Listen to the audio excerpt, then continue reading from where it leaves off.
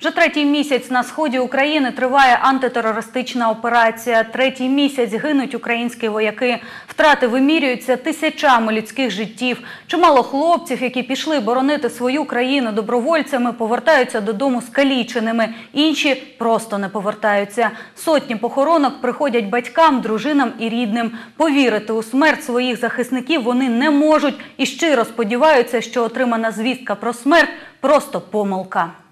Вона щодня зв'язувалась із сином по телефону. 20-річний хлопець Олексій Волков пішов служити в армію за контрактом. А в травні цього року його направили в зону АТО. Я с ним разговариваю буквально каждый день, по два раза на день, утром и вечером. Я спрашиваю, как дела, все нормально. Я услышала два слова, мне уже на душе легче. Алеша, говорю, как вы там?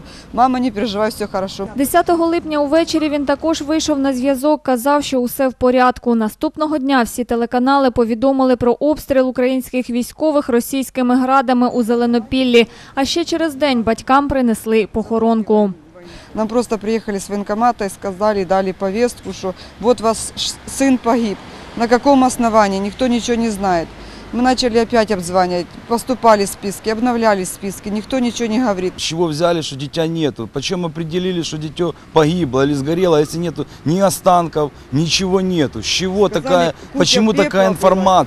З доказів загибелі Олексія хіба що кубка попелу та ніж солдата. Військовим цього виявилося досить, щоб повірити у смерть хлопця. Батькам – ні. Вони самотужки почали шукати сина, опитувати співслуживців Олексія, які вижили після обстрілу. Ми, ми вже обзвонили всі і, і и военкомов, и, и бар- больницы, и в Киев выходили, и в Запорожье. Э, Поехали в Запорожье, сказали, он там. Поехали в Запорожье, обознали, нету. Взяли ДНК, говорит, езжайте в Днепропетровск там. Поехали в Днепропетровск, в Днепропетровске тоже нету.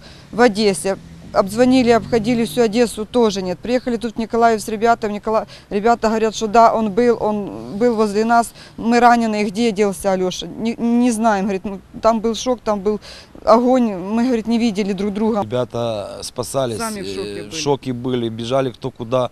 То есть э, конкретики они тоже не могут сказать в такой ситуации. Э, Они все испуганные, все перепуганы. Вы понимаете, это не э, салют сорвался, это стреляли и убивали наших детей. Просто, когда они спали ночью, заживо горели дети. Батьки усе ж вірять, син живий, тож просять усіх, хто має хоч якусь інформацію, допомогти у пошуках. Якщо знаєте щось про Олексія, зателефонуйте за номерами, що бачите на екрані.